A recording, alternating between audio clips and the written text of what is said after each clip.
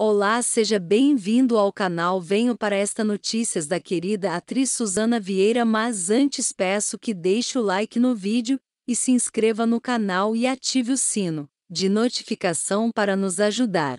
O estado de saúde de Suzana Vieira, internada no CTI com Covid, a atriz deu entrada no Hospital Copa Star, em Copacabana.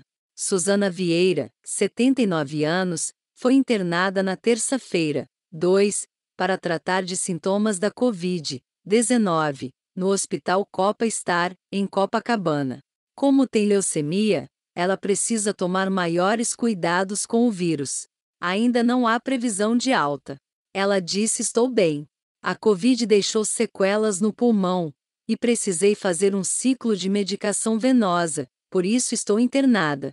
Como tenho leucemia, é protocolo a internação em STEI. Com a medicação e fisioterapia, em breve estarei em casa, diz a atriz. Rodrigo Cardoso, 57, filho da atriz, chega ao Brasil neste fim de semana para lhe dar apoio.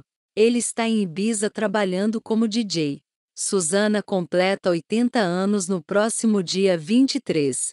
É gente, vamos orar para ela sair desta situação o quanto antes.